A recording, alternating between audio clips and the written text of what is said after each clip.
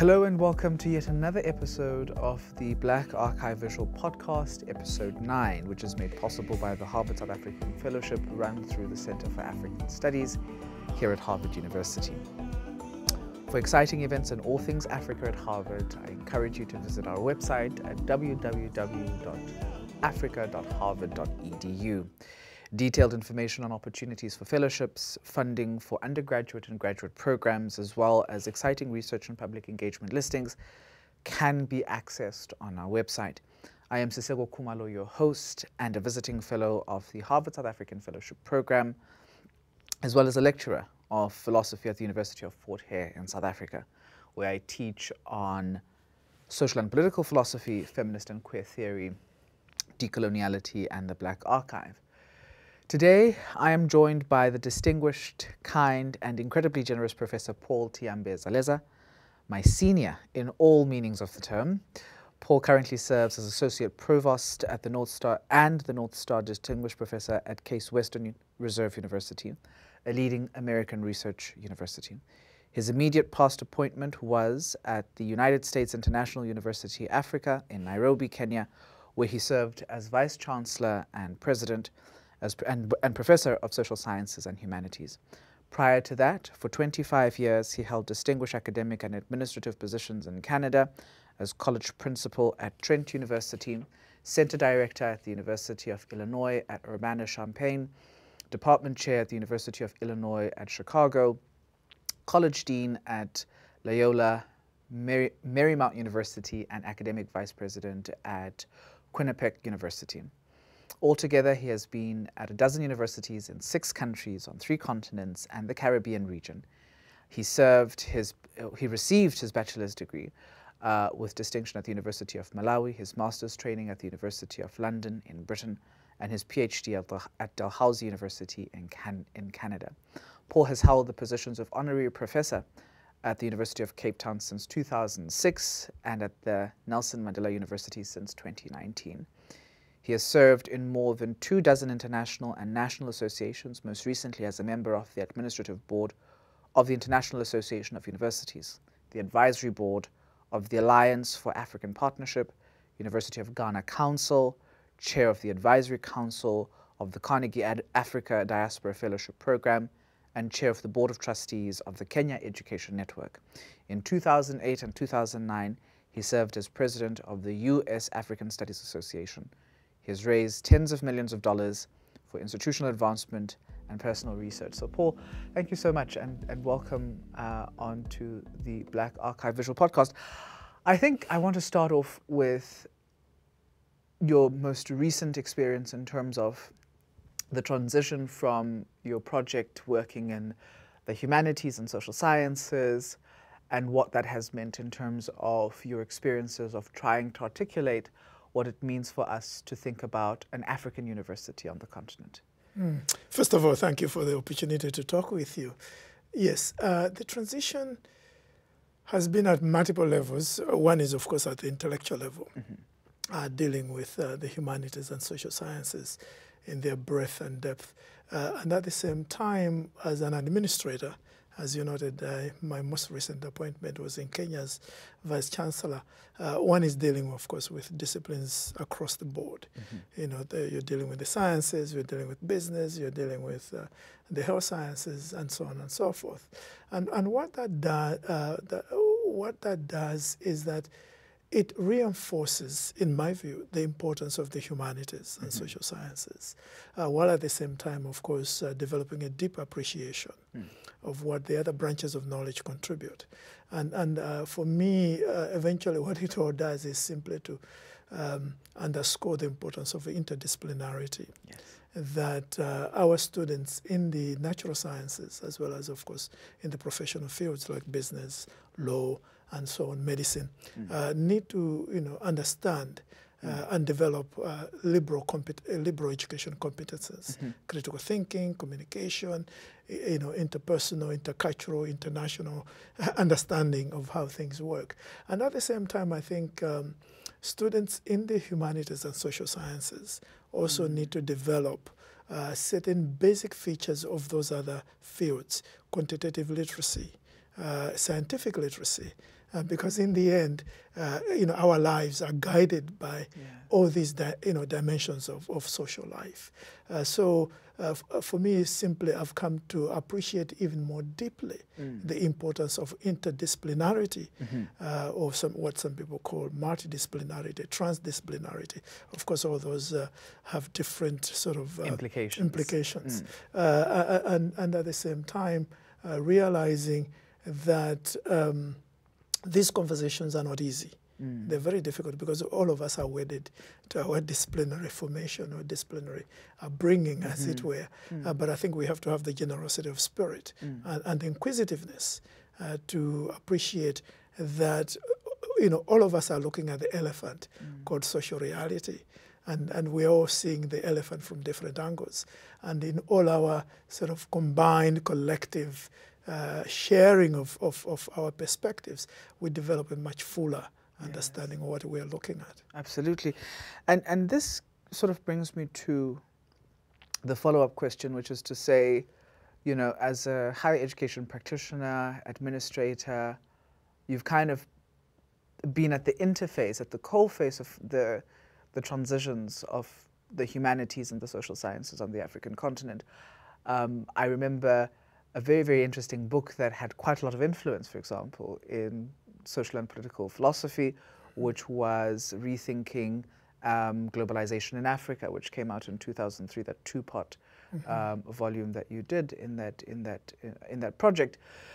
And and what I was fascinated there by was I was fascinated by your call to kind of think about the implications for globalization as it is impacting mm -hmm. the mm-hmm. African mm -hmm. continent. Mm-hmm. Um, and I think to a certain extent, that particular project kind of, there's a circling back in the, in the contemporary work that you're doing now, whereby we're thinking about exactly the, so, the problems of society, mm -hmm. responding to African conditions from a perspective of, you know, thinking about global relevance of institutions, but local responsiveness as well. Mm -hmm. um, and in thinking about precisely that particular project and what it meant at the time, you know, in this kind mm -hmm, of mm -hmm, mm -hmm. craze on the African continent, you know, the last country on the southernmost tip of the African continent had just received democracy 10 years, or nearly 10 years ago right, when that project right. came out. What's been the, the thinking between the sort of post-colonial break, if one can call it that, uh, on the African continent, the function of the university in Africa as it responds to African problems, African needs, science and technology as it is developing from the university in response to, to, to societal needs on the continent, and an articulation of that to the global knowledge economy, mm -hmm. right? So, mm -hmm. so thinking about those three moments, the post-colonial, the responsiveness of scholarship to the continent, as it articulates with the global trends, yeah. Oh, that, that's a very rich, uh, very rich question. Thank you for that. Mm. Uh, so I think there are multiple levels at which we need to examine issues like this. Mm -hmm. uh, so in the uh, late 1990s, uh, early 2000s, you know, after the end of the Cold War, there was this sort of rediscovery of the global mm. And, mm. and a lot of writings on globalization in which, interestingly, not much was being done in terms of Africa's insertion -hmm. into that -hmm. globalization process. So what what I was trying to do in that book um, is, is, simply to underscore that uh, you cannot understand globalization in all its uh, historical phases because it's not new. Yes. You know, its, its historical phases in all its dimensions without incorporating Africa's experience. Uh, so the, you know, the emergence of the modern world system uh, you know, and we call it modern because there were other world systems mm -hmm. uh, from mm -hmm. the 15th century. Africa, of course, is integral mm -hmm. uh, in, in terms of the slave trade, the construction of the economies and societies of the Americas, industrialization of Britain, and all those um, you know, developments, uh, of course, culminate in the colonization of Africa, which is also a global movement. Mm -hmm. And then the you know, struggles for decolonization, for independence, and so on, which is also a global movement. Mm. Uh, so Africa has been integral to all the uh, developments in the world system, in the world economy, in the in the in, in, you know the world um, um, uh, you know all the multiple dimensions of the world, whether we're talking of material dimensions, economic, we're talking of uh, metaphysical in terms of thinking and thought and creation of institutions, including higher education. Mm -hmm. uh, Africa has been at the center of that. And, and I think one of the things that um,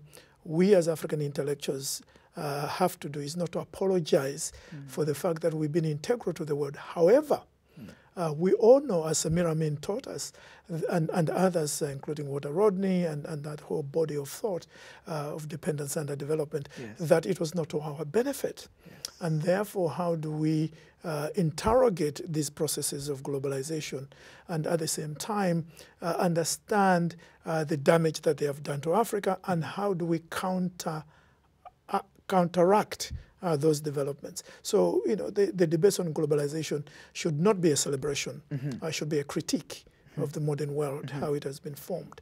So that's one level. Having said that, it's also important to realize when it comes to education, uh, there is a very unfortunate tendency, in my view, to assume that higher education is, is, is an invention on the mm. African continent by col mm. col colonialism, mm. coloniality. We all know, again, that uh, you know, the traditions of higher education on the continent, if you look at Africa as a continent mm. and not look at particular parts -hmm. in isolation, uh, higher education goes back, you know, to, to uh, you know, before even 1000 uh, AD -hmm. Uh, in, in, in, places like Tunisia, Morocco, um, uh, Egypt, of course, Al Azhar, uh, and, and uh, you know, Mali, mm-hmm. Timbuktu, mm -hmm. Sankore University, and all that. Uh, but even more interesting, perhaps, in these debates is the very fact that what we call the Western or European university mm. borrowed deeply from, from the Islamic historic. Yes. Mm -hmm. From so, what comes to Africa as the Western is in fact, uh, you know, imbued mm. With a lot of uh, Afro-Asiatic Islamic influences and traditions. And yes. traditions. So this notion that there is something purely Western mm. is a problem in itself. Mm -hmm. And, uh, you know, uh, our friend here at, at, at, Harvard wrote a very interesting book about Islamic learning traditions, Kane, Ousmane Kane, mm -hmm. Kane uh, you know, which, which underscores the fact that uh, even, the, you know, what Mudimbe calls the colonial library, mm. Uh, which might be very dominant in certain parts of Africa, uh, is not necessarily dominant in other parts of Africa mm -hmm. with -hmm. other intellectual traditions that mm-hmm. have survived yes. and continued. And, and he talks, of course, in this particular case, of the Islamic tradition. Mm. So the, the issue of the academy mm. in Africa, in terms of its origins, in terms of its developments, and the various forces mm. that have contributed to its development is something that we have, I think, to critically interrogate. Having said that, I think one could say that um, the African university uh, is, is quite contradictory in the sense that it's the most internationalized mm. in one sense, mm. in terms of being very much, uh, in, you know, the models, the institutional models, the intellectual debates, the paradigms, the research questions, methodologies that tend to be used in many of these disciplines, including the social sciences and humanities, uh, tend to be fairly, they take the signals from the global -hmm. You know, what's mm -hmm. happening in Euro-America, and now increasingly we're paying attention what's happening in Asia. Mm. And certainly, uh, if you look at things like underdeveloped dependency theory, uh, this was an invention of Latin America, -hmm. Latin American scholars. So we've been very international in that sense. However, it is also the most marginal mm. system mm. in the international uh, system, in the sense that um, the you know African influences mm. on global sc scholarship. Uh, whether you're talking about theoretical uh, paradigms, you're talking of methodologies, you're talking about uh, even the questions we raise yes. in our scholarship. To what extent have those traveled to influence -huh. developments elsewhere? Not very much. Mm. so there is this contradiction, therefore, of you know, highly internationalized, mm. but also peripheral -hmm. in the international system. So the issue becomes, in my view, how do we take all this uh, and, and craft uh, not only a university as envisaged, uh, you know, if you look, read the writings of the sort of um, the leaders of African independence movements, the Nkrumahs, uh, the, the, the, the um, Nyereres and so on, uh, and even the Mandelas, mm. uh, what you find is that they understand the African university's mission as one, of course, of being responsive. Relevant, and responsible mm -hmm. in terms of the knowledges it produces yes. for Africa. Yes. At the same time, they see it as being uh, an institutional space mm. that should articulate Africa's global presence. Mm. So they don't see necessarily a dichotomy mm -hmm. between local relevance and, and internationalization -hmm. in, in, in, an intellectual sense. -hmm. Uh, and, and of course, if you're going to be locally relevant and mm. responsive and responsible, your engagement with the global will be from your own terms. Mm -hmm. So a lot of the, uh, you know, the debates uh, about decoloniality, about decolonization, fundamentally mm -hmm. about the uh, they about the relevance, mm -hmm. the responsiveness, mm-hmm. and the responsibility mm-hmm. of these institutions to their own contexts, mm-hmm. to their own societies, to their own histories, mm. and to their own imaginations of the future. Mm. Uh, and that, of course, is in conversation with other, you know, sort of, uh, um, you know, systems yes. that have developed. And of course, the African intelligentsia, uh, by, by definition, uh, is, is one that has, you know, developed in ways that make it a bilingual, multilingual, uh, uh, you know, intelligentsia. A lot of us, I mean, you and I are talking from Harvard, uh, a lot of us are very deeply immersed mm. in, in, in, in um, you know, educational systems many of us got the, the training or we have taught, we do research in collaboration and so on and so forth. So to assume that, um, you know, um, the, the decolonization means you know, sort of cutting off. The delinking. The, delinking, mm. which of course some people in the dependency literature used to, mm. to articulate, uh, is, is, is, is contrary to our very practice. Mm -hmm. uh, however, that uh, also means that we have to reflexively mm think about our own practice. How, you know, a lot of us, for example, you know, I read a lot of this literature, and I'm always fascinated by a number of things. One, we, we are quite strident, and rightly so in some cases, about the need to you know, decolonize, and we need to push that agenda, obviously. Uh, and at the same time, there is a deep-seated longing to be legitimated in the global north. So you, you read uh, uh, many of these uh, sort of um, critical thinkers uh, in, in the, many of these debates. And, and if you just look at their footnotes and even the references they're making in the text, when it comes to talking of theory, mm -hmm. it's the importation. Yeah, typically they are referring to Euro-American scholars, intellectuals, including the dead ones, uh, and, and, and, and, and very little reference to the African Intellectual Archive, to African thinkers. So take the issue of decolonization. Um, this issue of contesting the hegemony of Euro-American um, epistemological and ontological, uh, you know, sort of uh, uh, descriptions, definitions, and understandings of, of, of, of, of uh, ideas and of identities and so on, including of us. Uh, this, this has been contested um, by African and African descended intellectuals for at least the last three, four hundred years. And yet, uh, many of us are busy quoting you know, people who just started writing about some of these things uh, from the Euro-American Academy uh, 20, 30, 40 years ago. ago.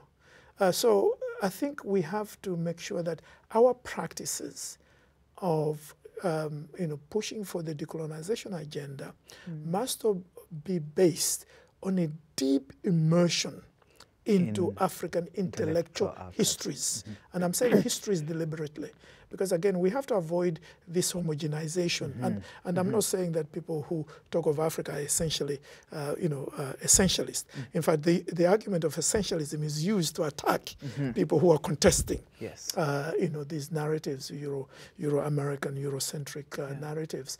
Uh, but, but we have to be sensitive to the very fact that Africa is, is itself not homogeneous yes. and, and therefore understand the different intellectual traditions mm. that have developed on this continent, and they are very complicated conversations. Mm. because your Islamic tradition has been in conversation with the colonial library, say in parts of West Africa and parts of North Africa for a very long, long time. time. And they, they are very complicated negotiations that have taken place mm -hmm. and emergence of, of, of ways of understanding that uh, are very rich as well as uh, very complicated. Now, Paul, you mentioned something that I think is so important, which is to say we've got to privilege our own intellectual histories. And I'm going to ask you a question. As you say, we're speaking from Harvard, mm -hmm. but both of us have a foot in Africa, mm -hmm. be it through as a senior administrator, executive, as former vice chancellor and uh, principal of, a, of an institution in Kenya, be it as a visiting professor um, you know, at UCT or at Nelson Mandela University, or as myself, be it a philosophy lecturer uh, at the University of Fort Hare. The challenge with how our students are training, and, and I think this is one of the reasons why I, I, I have been inspired to do this kind of work while I'm here, which is to kind of create a cross-cultural conversation between Africa and her diasporan communities, but also to center the function of African scholarship and African intellectual histories, as mm -hmm, you say. Mm -hmm. So V.Y. Mudimbe in 88 gives us, for example, the invention of Africa. Um, and it's a beautiful analysis. Methodologically, it's a fantastic, what is it, F uh, um, philosophical anthropological project. It, it, it, he does a very, very good uh, philosophical anthropology in that mm-hmm, text. Mm -hmm. But he demonstrates the point of how Africa, African categories, ways of thinking about Africa, mm -hmm, ways of mm -hmm, analyzing Africa, are dreamt up by European colonial incursion. And in the South African context, as one who has that experience of South Africa, post-apartheid South Africa means that the voice that kind of wins, right, or that, or that becomes centered. So it's no longer the Afrikaner nationalist conversation. It's no longer Stellenbosch University, mm -hmm, Free State mm -hmm, University, mm -hmm. the Vaal, uh, in terms of uh, North, what has, what has now become Northwest University, um, and uh, the University of Pretoria the, the academic freedom lectures, for example, mm -hmm. become a thing. And if we remember correctly, the academic freedom lectures are definitive of the University of Natal, Rhodes University, UCT, Wits University, um, memorialized to this day, in fact, at the University of Cape Town through the T.B. Davie uh, Academic Freedom Lecture. And what that has done is that it has given what that did, in fact, is that it gave white liberals, white South African liberals, mm -hmm. this kind of position of hegemony mm -hmm. um, in the country. And what our colleagues do is that they miseducate our students. Mm -hmm. um, and post 2015, which was the, the sort of moment of shattering of this mm-hmm. commitment to the miseducation, there have been younger scholars who've come up and who've said, actually, no, indeed, let's read mm -hmm. African history intellectuals, mm -hmm. um, African intellectual histories. Let's, let's commit ourselves to doing the work of going back into how we have historically conceptualized, articulated, understood, debated, and contested mm -hmm. the function of education on the African continent. So, how does the system, mm -hmm. with these misarticulations that you are rightfully noting, of saying we are incredibly globally oriented, but also incredibly marginalized. And part of the reason why we're marginalized, I think, is because to a very large extent, we're not having a sharing of knowledge between systems mm -hmm, because mm -hmm, white mm-hmm, academics mm -hmm, are very, very insular to a lot, to a mm-hmm. very large extent. They, they, they, they are saying, okay, fine, we're focusing on Europe because, for instance, maybe that's where we trained, mm-hmm, right? And we're going to come back from Europe, we're going to go back to Africa, and this is what we're going to train our students. So how do we break the cycle? Right, right. Yeah, how do we break? That's the mm. you know the difficult question. So I think there are a, a number of uh, dimensions to this, to, to your very uh, very insightful comment and question. So one of the things that let me let me just give a few sort of factual points of reference.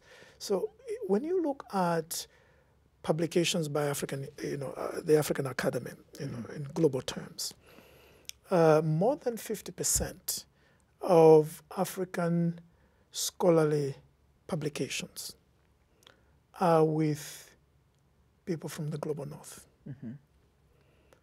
Um, that's a figure much, much higher than publications by Asian scholars, European scholars, American scholars.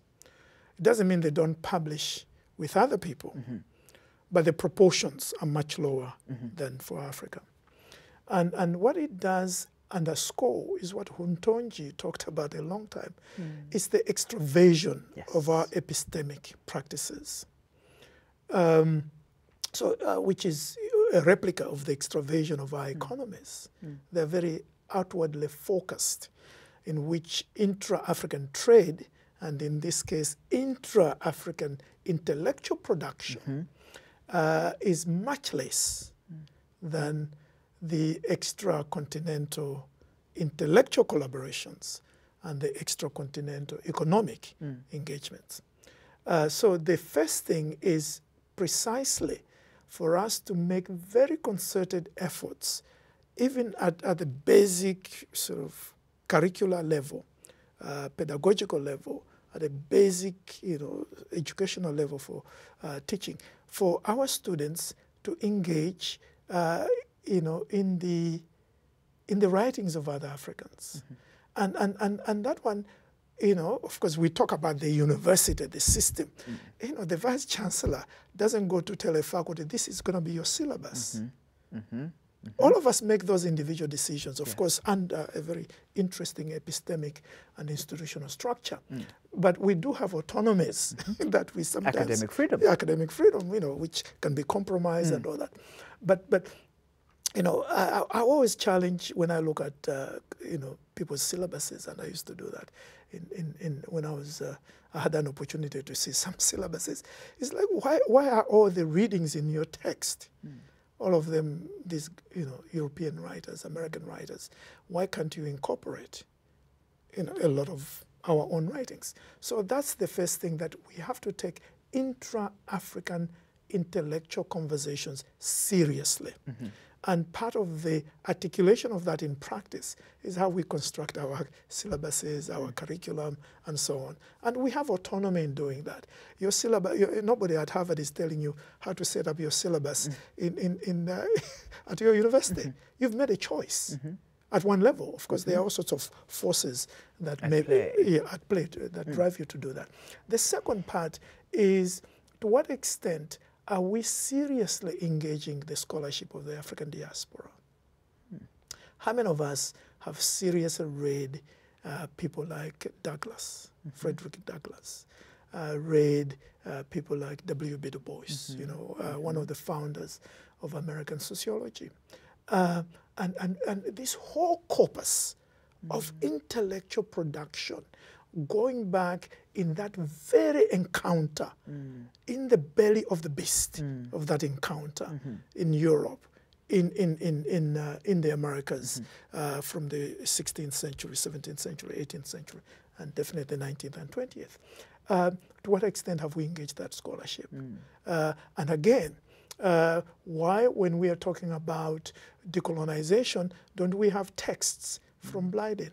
Mm. Edward Blyden. He was writing in the middle of the 19th century mm. about, you know, the, the, the, you know, the um, development and interaction and contradictions and, and, and contaminations and mm-hmm. combinations of Islamic, uh, traditional, uh, Christian, uh, which then, of course, uh, um, Nkrumah picks up in his book Consciencism. Ali Mazrui then picks up as Africa, the Triple Heritage. Mm you, you can trace this. So, yes, that thought. Th th that thought, mm. uh, you know, and how it influences, um, you know, how things are done. So why can't we, you know, uh, do that kind of exercise with our mm. students to say this idea, this is the journey it has mm. traveled through texts of African thinkers, texts of African diaspora thinkers. The third level in my view, is to take seriously the ways in which other societies in the world that have been sub subjected to uh, the Western imperium, mm -hmm. you know, to, to, to the Eurocentric um, and uh, you know imperial um, epistemological uh, order uh, that we are all fighting. How have they dealt with it? Not that uh, the way they dealt with it Is going to be replicated. yeah, no, it won't. Mm, and, and, and mm. is better or worse. No. Mm, how have they dealt with it? And sometimes it serves as a mirror for us to say, okay, this is how they dealt. That's similar in this way, is different in that way. How, And then- what can we learn? what can we learn? And then where it is different, why is it different? Mm-hmm. So it also helps you to particularize your own experience at the same time as you're globalizing. Uh, it's it's it's it's a- comparative the- in a- in, a, comparative analysis. yeah. So now, for example, our countries are gravitating to, to Asia economically. China is a bigger trading partner than uh, than the United States from 2009. Uh, but to what extent are we seriously engaging Asian thought, Asian Asian um, um, scholarship and so on. So this, the, for me, part of the decol- decolonization agenda is, is, of course, this is an odd statement. Um, you have to provincialize Europe, but provincializing it also means, uh, of course, deprovincializing Africa. And part of that deprovincialization of Africa has to entail Africa taking itself seriously in terms of these intra African dialogs, as well as dialogues with the African diaspora and dialogues with other civilizations. I'm going to then follow up with a question as an administrator. You have been an administrator now for a number of years. Um, and what I appreciate, you know, you remind me of uh, Salim Badat. um, yes, yes, Salim wa- was has been an administ- was an administrator for a very long time, but he never stopped his intellectual work and, his, and his intellectual thought. When I arrived, for example, at the University of Pretoria in 2018, one of the challenges that I encountered, or one of the challenges that I smashed my head against, was this extroversion that you're talking about. So, the way in which the subsidy funding model had been structured mm-hmm, mm-hmm. at the University of Pretoria was incredibly problematic because it encouraged scholars to publish in what we call ESI, World, what is it, uh, uh, World Science Citation Index Right, based right, journals. right, right, right. right? So if you're if you're publishing, if you get a paper out, for example, with uh, critical uh, philosophy of race, Uh, edited by my good colleague Robert Bernasconi at Penn State, you get better money in your kitty, in your research yes, kitty, yes, than, for example, in publishing in the South African Journal of Philosophy, Mm-hmm, right? Um, and, and I found that incredibly problematic Mm-hmm, as an academic who was at the time attempting to establish the Journal of Decolonizing Disciplines. Right, right, right. So- right, right, right. How do we, as academics, um, researchers specifically, because what has also happened on the African continent is that we've kind of drawn a line between Mm-hmm. the academic who's a teacher, the academic who's a researcher, which I think is fundamentally problematic because praxis ought to be informed by Mm-hmm, Oh, yeah. research and Yeah, research ought to absolutely. Mm-hmm. inform praxis. It, there needs to be a loop there. But how do we researchers resist administrators, senior administrators, because there was a colleague of ours who at the time was vice principal research, mm-hmm. who who did not want to hear. Mm-hmm. And I said to them, mm-hmm. I, you know, every sing, at, at every single point, I said to my colleague, Professor Stephanie Burton at the time, that you know th- there's a problem. You, you are create, you are bankrupting our own system, because you know the University of Pretoria employs what nearly about five thousand ac- what is it, nearly about 5,000 academic staff, right? So all of these 5,000, if they were to take your call, Stephanie Burton, and publish mm-hmm. in, you know, the British, uh, what is it, uh, the British Royal Academy Journal of Philosophy, mm-hmm. Critical mm-hmm. Philosophy of Race, uh, publishing in the North. If we all published in the North, who would publish in the SHAP? Who would who would publish in our own journal? So how do we how do we work together with administrators? Because we also don't want to create a situation whereby now there's a resistance or there seems to be conflict between academics on the ground and administrators, senior executives. How do we work together to ensure right, that right, right. there's a cohesion here? Yeah. So I think there are multiple levels as well. Uh, one is the question of leadership. Uh, who become leaders of our institutions? Mm. To what extent are they deeply immersed in the kinds of debates that we are talking about? The need to valorize -hmm. African intellectual production uh, and the outlets of that production. Uh, which means you know, where do you publish, mm. uh, becomes uh, part of that question. And, and, and, and the many of us, um, if you look at how people become administrators, um, many of us, you know, are appointed on all sorts of other grounds, mm. um, usually political, um, which have very little to do with uh, academics. Um, and, and therefore, I think one of the questions we need to ask ourselves uh, is how do we appoint our leaders mm -hmm. for universities? To what extent is the criteria mm. intellectual or purely political, with, of course, a dose of administrative competence? Secondly, how do we provide training mm. for our leaders mm. to be able to uh, run these institutions not only efficiently from a purely administrative mm. and financial um, model, because you have to run them efficiently, yes. uh, but also responsive yes. to this larger um, societal, historic mission of transformation mm. for these institutions. And, and, and, and, and the, in many African countries, uh, I know for a fact, uh, there are no opportunities mm. for those kinds of, uh, you know, development, leadership development opportunities. Uh, so that's, that's one of the questions. Uh, and, and then it also ties in internally. To what extent do you create structures that are accountable yes. Uh, you know, towards the mission of the institution, yes. which is knowledge production, knowledge dissemination through -huh. teaching. And it's about um, uh, as part of that knowledge dissemination is how you influence and uh, impacted by, influenced by society mm -hmm. in terms of its pressing needs. To what extent are your questions that you are trying to answer really rooted, as I said earlier, in, in, in a relevant and responsive and responsible manner to what are the pressing issues of your society, not necessarily the pressing issues of Boston, mm -hmm. Massachusetts, uh, or London, England, mm -hmm. but your society in its multiple special uh, levels, the mm -hmm. local, the national, the regional, whatever.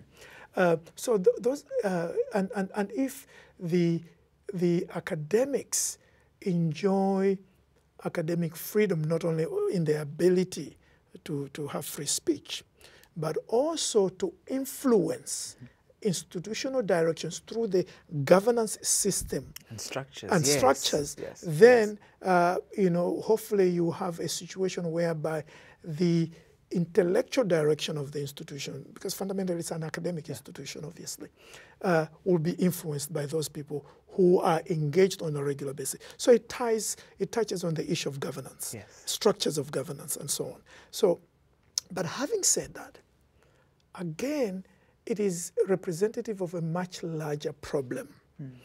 in which, uh, whether you're talking about the arts, mm -hmm. you know, you get all these great African musicians. Of course, we love their music, we dance in the clubs or whatever, listen to, to them driving to work. But you don't get them to become part of the national conversation in a systematic, serious, and, and, and, and sustainable way until they make it. Mm. In the global north? In the global north. So sign a contract with a yes, global yes. production so whether company. It's, it's, it's acting, it's, it's music, mm. uh, it's literature, mm -hmm. you name it, across the board, mm.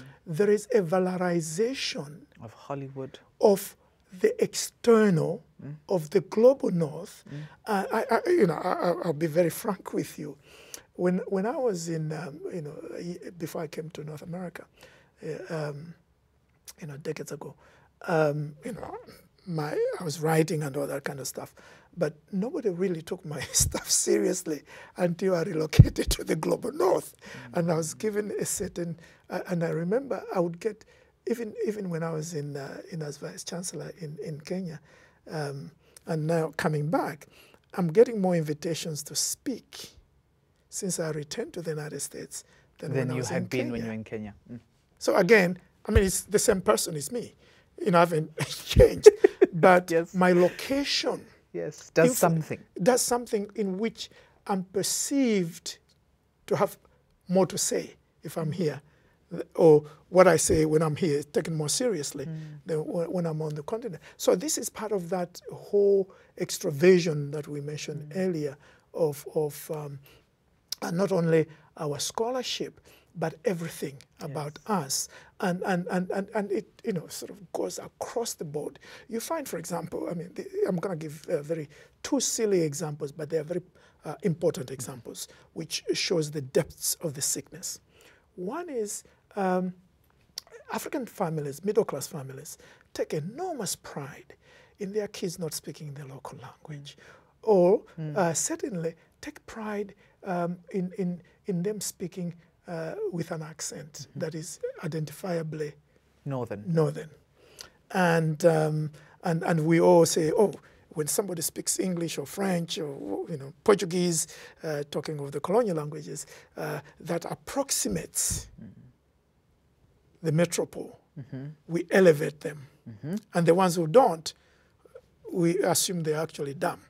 When in fact, intelligence Is not measurable by, the fact that you know, you know a, a foreign language. Um, the second thing is, uh, if, if you look at standards of beauty, uh, the, one of the biggest markets in the world for skin lightening creams is, is Africa, you know, together with India and parts of South America and, and, and the Caribbean.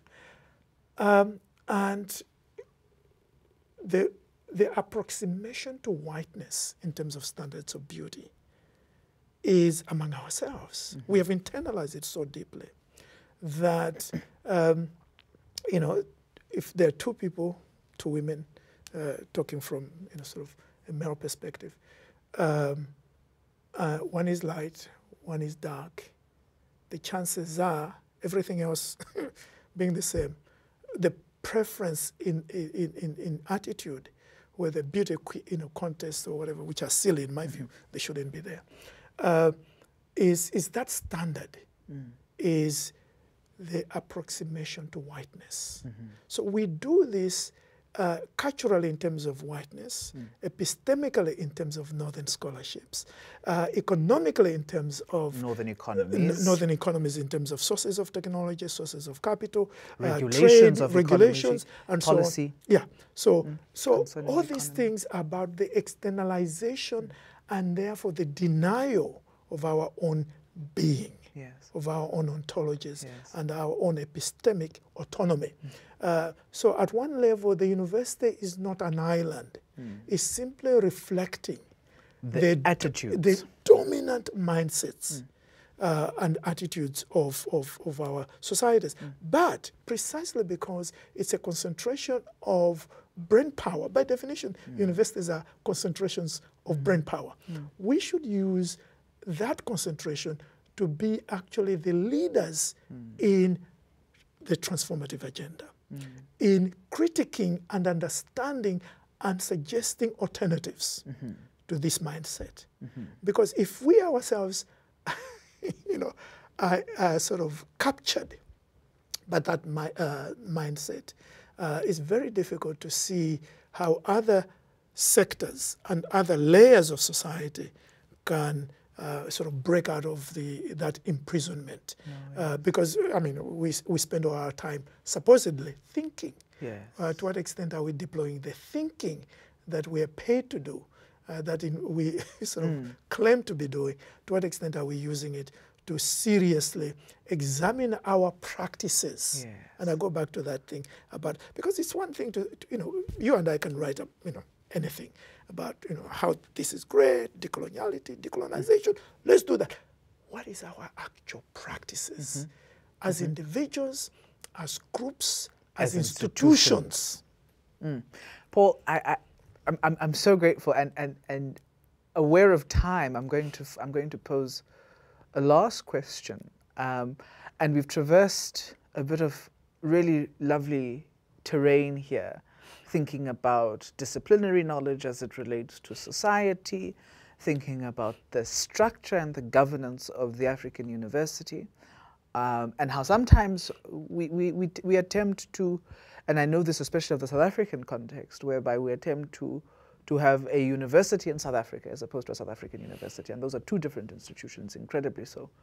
Um, I want to then come back to the Africa diaspora conversation. One of the critical challenges that I've picked up, having been at Harvard University for a while, and I don't think that this is a problem that is a Harvard issue or a Harvard problem, but for example, our good colleague in the uh, collection of African, uh, in the handbook, Palgrave Handbook of African Philosophy in 2017, asks this question in terms of African studies. Mm -hmm. African studies, or African and African American studies, AAAS as we call it, tends to not pay attention to the first A.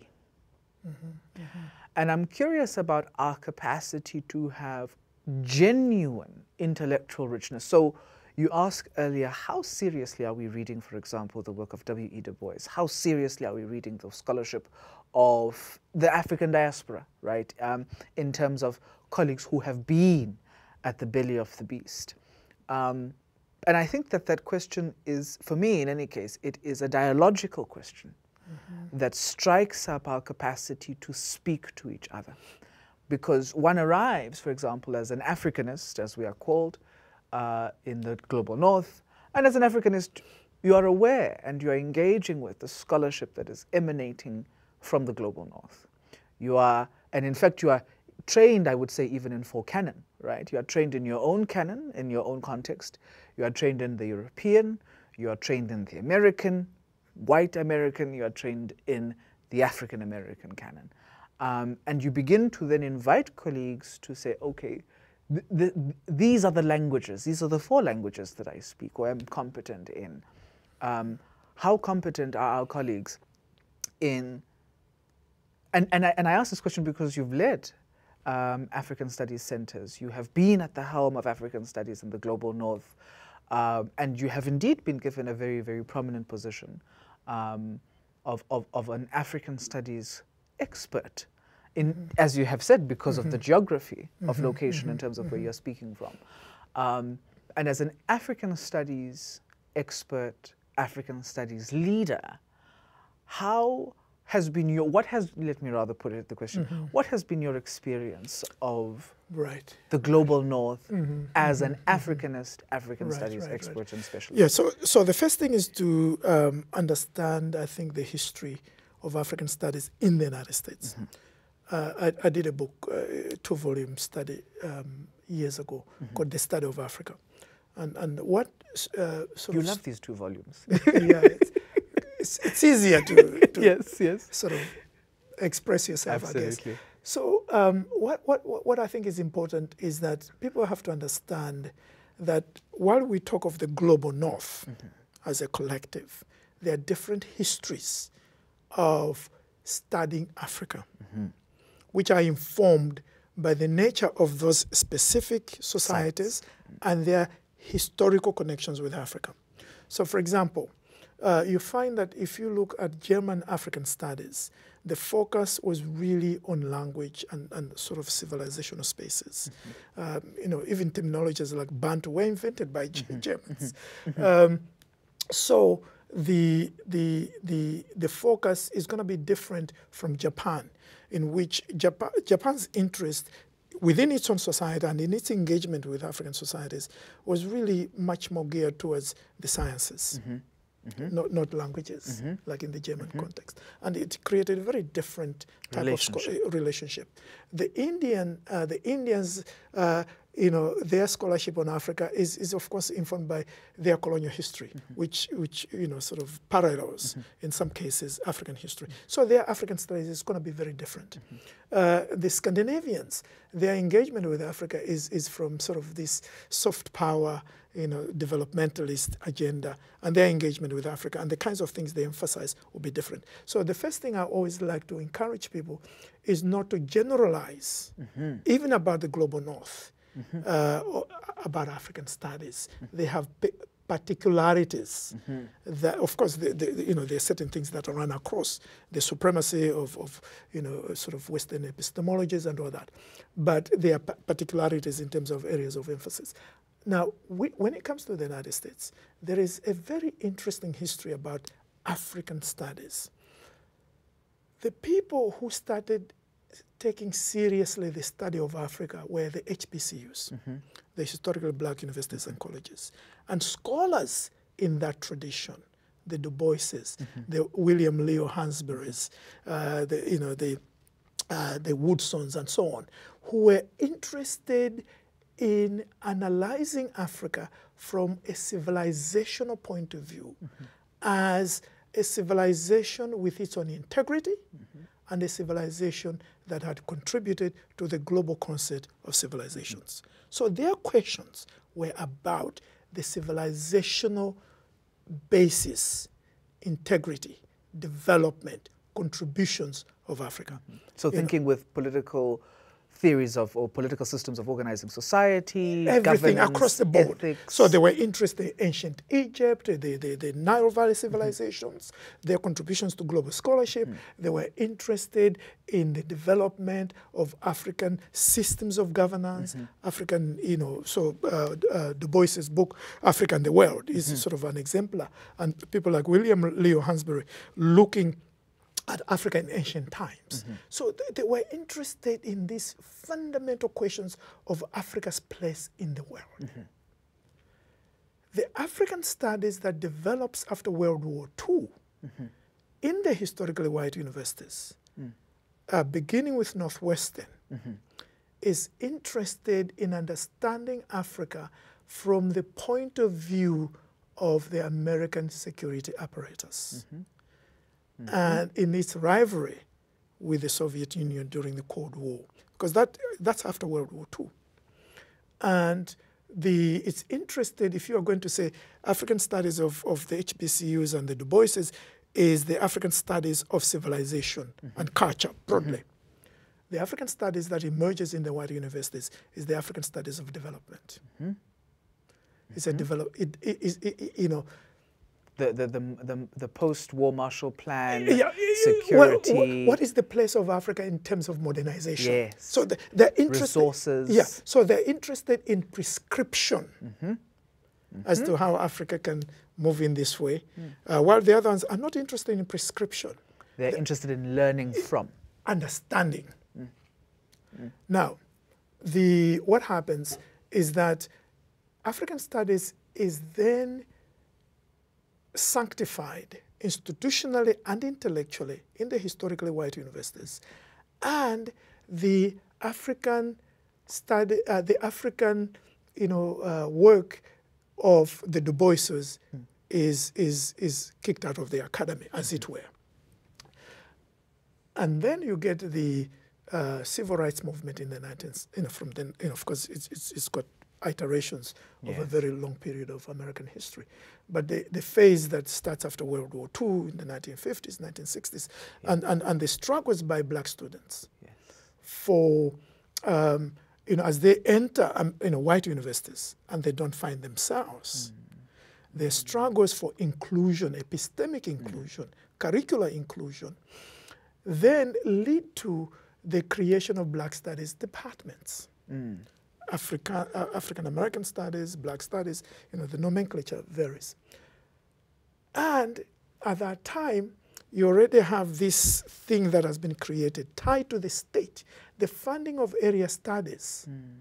was from the federal government, the US Department of Education, because it was part of the Cold War machinery. Mm -hmm. So you have African studies which has established itself as part of the Cold War calculus.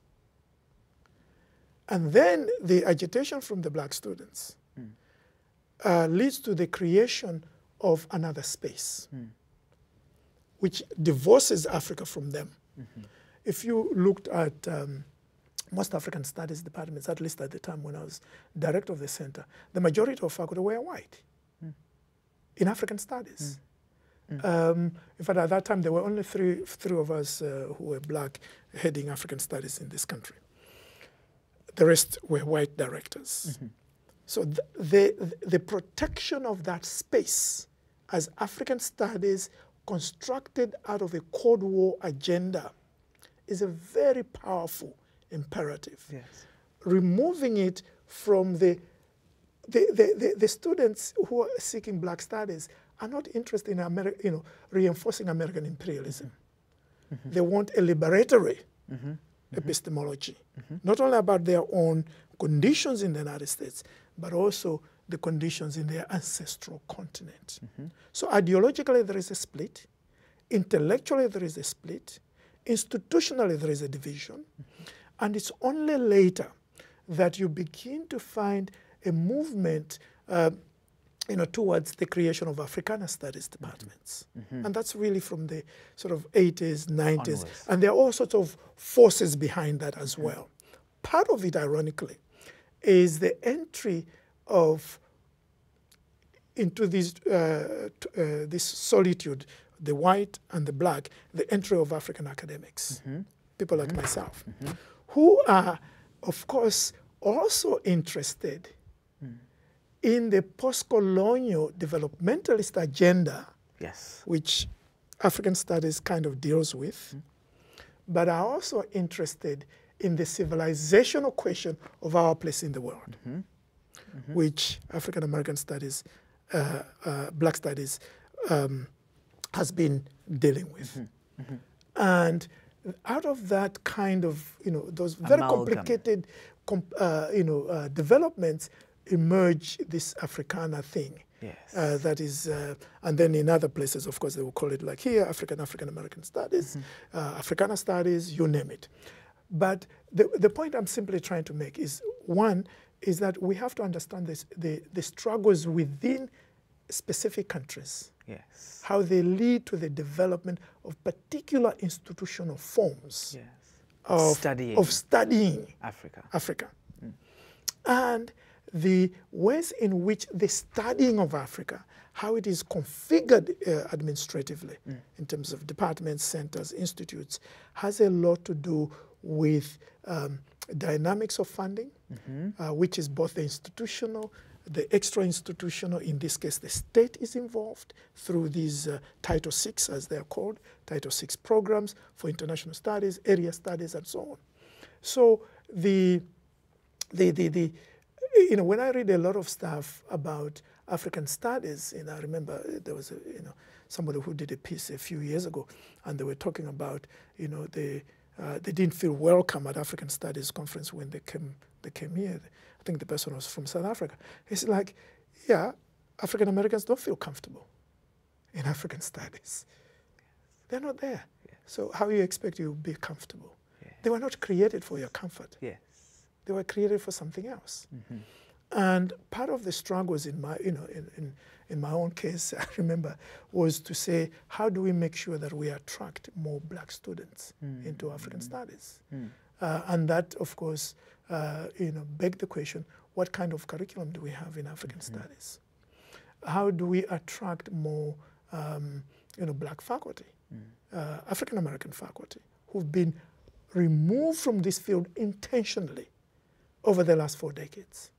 Since how do we bring them into the field? Um, how do we ensure that we conceptualize Africa, even the way we conceptualize Africa, mm. has, is going to have a bearing. So in Afrocentric um, thinking, uh, they look at Africa as a whole continent. Mm. In African studies, it's sub-Saharan. Mm-hmm. We have borrowed and bought into the Hegelian division of Africa into three. Mm. Hegel said Africa is actually three different things. Mm.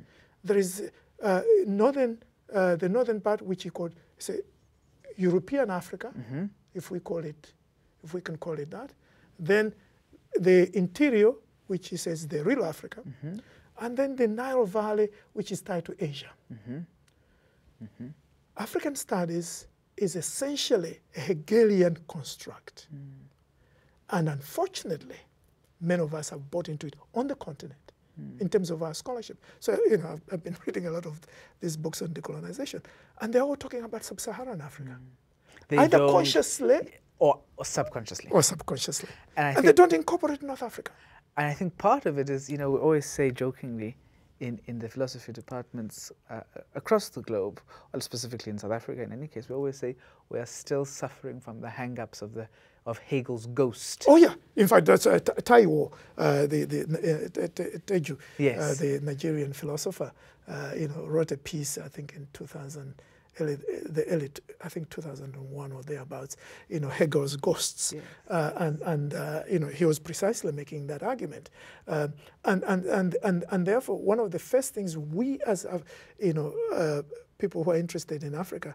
Uh, have to understand the construct of Africa in African studies is not necessarily the construct of Africa in African American studies.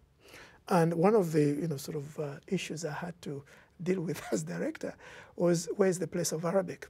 The majority of Arab, uh, Arabic speakers are African. So for me, Af- Arabic is an African language. Yes. And and um, so we had a little battle with uh, you know the Center for Middle Eastern Studies. Uh, because I said Arabic has to be in, in, in African studies because it is an African language. Um, and uh, anyway, it, it was very interesting. So even how we conceptualize Yeah. the basic terms of our discourse, there are going to be differences between the diaspora populations and, African. and, and European Aha. populations and how we conceive that. And unfortunately, many of us are busy fighting the ghost of the European construct and not engaging the, the liberatory potential of uh, the you know, other construct of Africa, particularly from the diaspora. Fantastic. Thank you, Professor Zeleza, for an exciting conversation, and I think it uh, gives us as young people, as the new generation of scholars, uh, um, the work that still needs to be done in terms of creating a relationship between the contexts that we find ourselves in and thinking about Africa. For those of us uh, who are joining us online, join us again next week when I talk to David D1, uh, the musician and rapper, as we think about the role and function of music as it impacts and changes the lives of African American uh, youths, specifically black African American masculinities. Uh, I am Siseko Kumalo, your host, and I look forward to welcoming you next week to the Black Archive Visual Podcast.